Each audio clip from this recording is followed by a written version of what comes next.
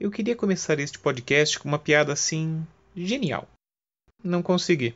Então, você vai ter que se contentar com este trocadilho nada genial de um podcast sobre gênios. Olá, meu nome é Maurício Lissistrida e hoje eu vou falar sobre a figura mitológica dos gênios e sobre algumas diferenças históricas existentes na hora de representá-los. Você pode encontrar gênios sendo chamados de Ifrits, Jins, Djins e outros nomes que talvez lembrem algum tipo de caos. Deixando para lá essa conversa sobre como se referir a eles, o mito dos gênios já corria pela região que nós chamamos hoje de Oriente Médio bem antes do surgimento do islamismo. Quando Maomé ditou o Corão, essas personagens tão importantes para a cultura local entraram no livro sagrado. Duvida? Dê uma olhada no capítulo 72 do Corão. Lá, os gênios rodeiam Maomé enquanto ele reza. Não só rodeiam, alguns gênios inclusive se convertem. Os que não se convertem, diz o Corão, serão combustível no inferno. Vou para outra obra importantíssima do Oriente Médio, o Livro das Mil e Uma Noites. Basicamente, o rei Shahriar descobre que está sendo traído pela sua esposa e manda matá-la.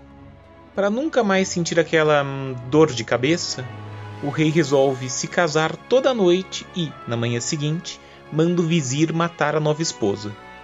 Para acabar com esse feminicídio maluco, a inteligente Sherazade, filha do vizir, pede para o pai casá-la com o rei Shahriar, a ideia dela é contar histórias interessantíssimas para o rei, intercalando-as sem nunca acabá-las, para manter Shahriar curioso, para que ele não a execute na manhã seguinte e não saia por aí matando mais mulheres.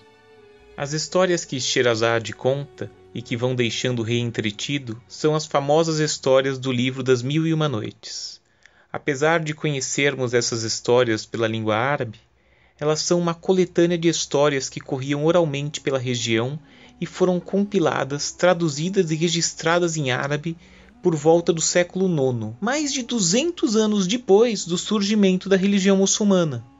Em outras palavras, algumas das histórias podem até ter sido pré-islâmicas, mas elas só foram registradas da forma como nós a conhecemos após o surgimento da religião muçulmana.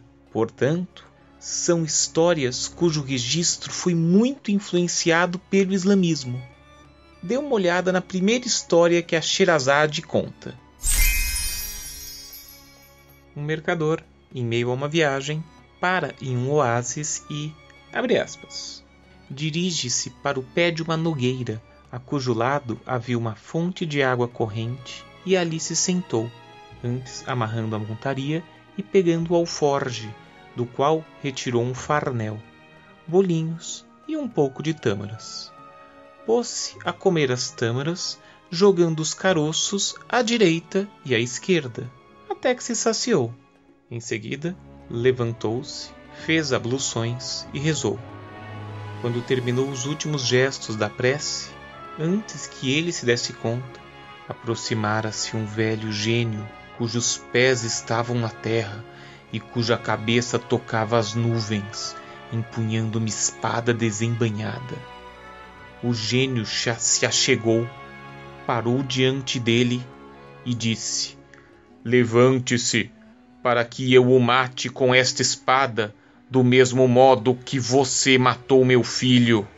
Ao ver o gênio e ouvir-lhe as palavras, o mercador ficou atemorizado e, invadido pelo pânico, disse: e por qual crime vai me matar, meu senhor? O gênio respondeu: Pelo crime de ter matado meu filho. O mercador perguntou: E quem matou seu filho? Respondeu o gênio: Você matou meu filho.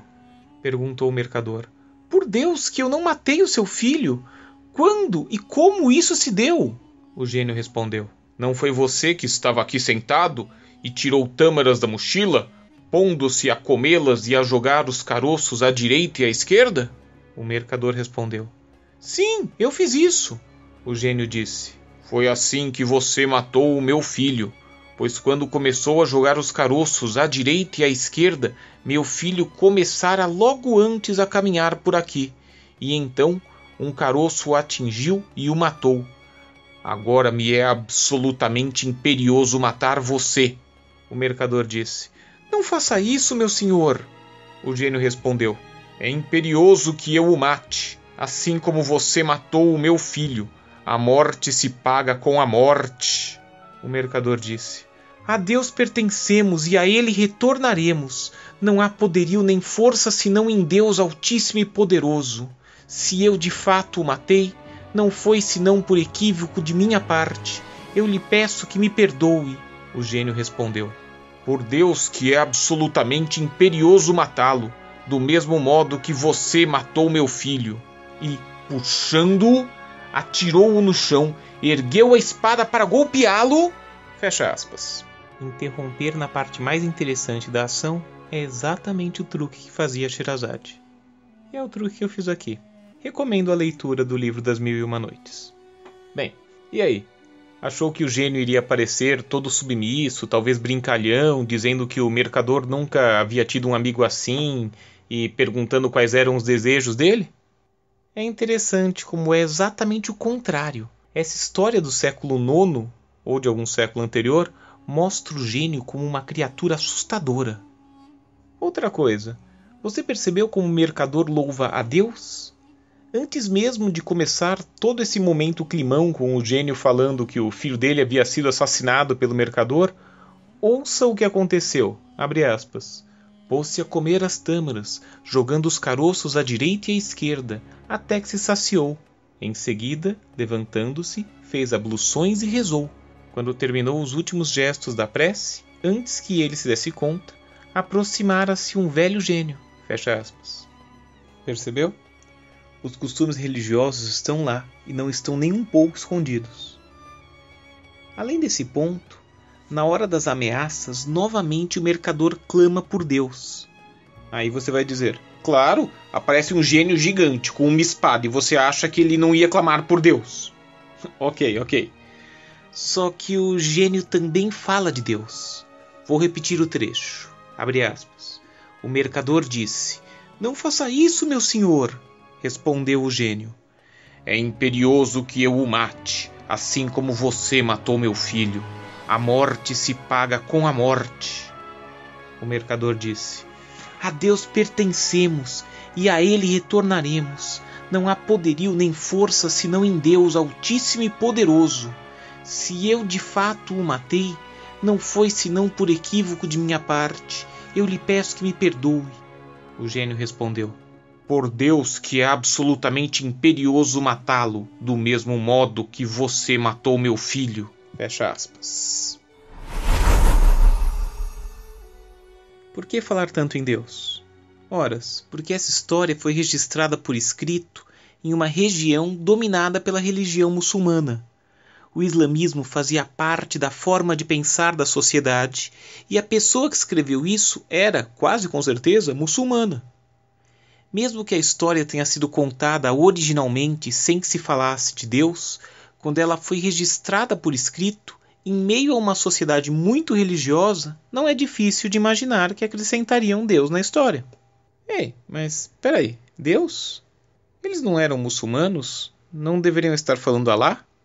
A tradução que eu utilizei do livro das Mil e Uma Noites é do Mamed Mustafa Jarouche, uma tradução maravilhosa, direto do árabe, com ótimas notas vencedor inclusive do Prêmio Jabuti de Melhor Tradução.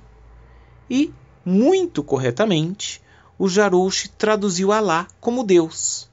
Sabe por quê? Porque a palavra Alá significa o Deus. Traduzindo, Alá é Deus, com letra maiúscula, só que em árabe. Seria a mesma coisa que dizer que a maior parte dos brasileiros acredita em Deus e a maior parte dos norte-americanos acredita em um tal de God, God é só uma tradução de Deus, assim como Alá. Quando os filmes, a imprensa, os professores de história falam que os cristãos acreditam em Deus e os muçulmanos acreditam em Alá, todos esses grupos só estão demonstrando a ignorância deles em relação ao islamismo, à cultura árabe e afins. É querer ver a crença dos outros como a crença diferente, estranha. Voltando aos gênios, vou agora falar de uma história do século XXI, o conto de outubro que pode ser lido no livro Alerta de Risco do Neil Gaiman. Se você nunca leu, recomendo pausar este podcast e ler agora para que eu não atrapalhe a experiência. É curtinho e gostoso, aproveite. Pois bem, basicamente o conto fala de um gênio que saiu de uma lâmpada quando a personagem Hazel estava fazendo limpeza. Mostrando bem o estereótipo cultivado no Ocidente, ele tem cara de gênio, turbante, sapatos pontudos e logo oferece três desejos. Não são apenas os estereótipos sobre a cultura do Oriente Médio que o conto mostra ser ocidental e contemporâneo. Valores importantes para nossa época, como o feminismo, são partes da história. Hazel é uma mulher independente, bem resolvida e não aceita ser chamada de boneca, docinho, nem nada dessas coisas. Hazel também não quer nenhum desejo mirabolante que o gênio possa realizar. Ela gosta da própria vida. Frente às ofertas de desejos a serem realizados, ela responde: Muito obrigada e tudo mais, mas estou bem. Não precisa. O gênio acaba morando com Hazel, fazendo parte do dia a dia da moça, e é assim que ele termina de narrar a história.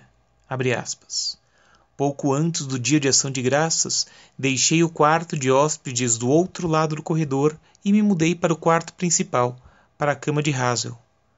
Observei o rosto dela esta manhã enquanto dormia. Olhei para a forma que seus lábios assumem quando ela dorme. A luz do sol foi chegando e tocou o rosto dela, que abriu os olhos, me viu e sorriu. Sabe o que nunca perguntei? indagou ela. E quanto a você? O que você desejaria se eu lhe perguntasse quais são os seus três desejos? Pensei por um instante. Coloquei o braço ao redor dela, que acomodou a cabeça no meu ombro. Estou bem, disse a ela. Não preciso de nada. Fecha aspas. Na atitude de Hazel está outro valor da nossa sociedade. Não queremos que alguém seja obrigado a nos servir e a realizar os nossos desejos. A história do Aladim do livro das Mil e Uma Noites, provavelmente acrescentada à obra perto do século XVIII, tem o Aladim comandando dois gênios, o do anel e o da lâmpada. Nem se cogita libertar os gênios. Agora, na história recontada no cinema, temos interpretações geniais, o Robin Williams no desenho e o Smith no filme. Só que além disso, em ambas temos o ideal de liberdade que termina por tirar o gênio da servidão. Queremos que todos, inclusive o gênio, sejam livres para realizar os próprios sonhos. Ou, pelo menos, é o que gostamos de pensar sobre nós mesmos, essas pessoas boas e maravilhosas.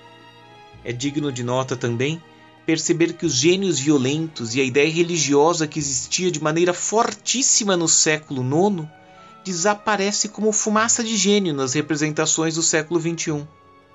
Cada sociedade conta e reconta as histórias de acordo com as próprias prioridades.